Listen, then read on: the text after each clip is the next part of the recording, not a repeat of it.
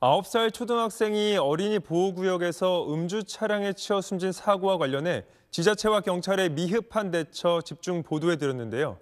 가해자에겐 뒤늦게 뺑소니 혐의가 적용됐고 과속 카메라 같은 안전시설도 부랴부랴 보강하기로 했습니다.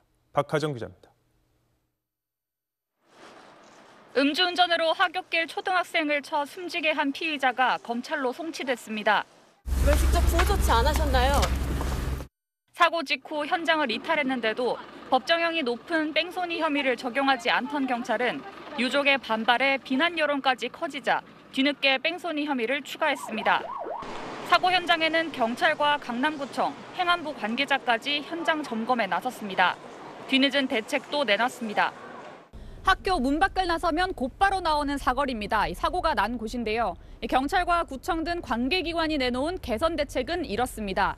횡단보도가 없는 곳에 횡단보도를 추가로 설치하고 기존에 설치돼 있던 과속방지턱의 높이를 더 높이겠다는 겁니다. 과속 카메라도 새로 달기로 했습니다. 마음만 먹으면 경찰과 구청 등의 자체 판단으로 얼마든지 할 수 있었던 조치지만 예산 부족과 관계기관 협의 등 갖가지 이유를 들다 이제야 내놓은 겁니다.